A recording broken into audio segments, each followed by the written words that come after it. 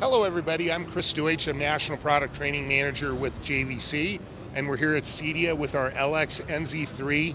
This is a really exciting new projector with a 3,000 lumen fluorescent laser phosphor light source. Uh, this is a 4K DLP projector at a very exciting $36.99 retail price point. This gives you a bright, colorful picture uh, it gives you 4K resolution. A couple of things that JVC does that are a little unique.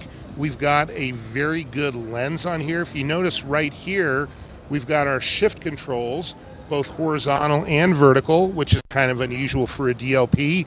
We also have a nice 1.6x zoom lens on the front, which gives you a very flexible throw range with the projector.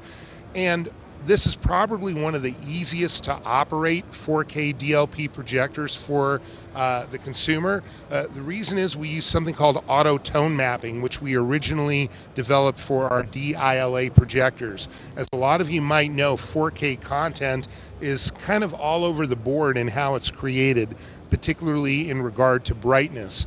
With auto tone mapping, we can take that content, whether it's a 4K Blu ray, whether it's Apple TV, Netflix, whatever you got and this projector is going to automatically adjust so you never have 4K HDR that's either too bright or too dark.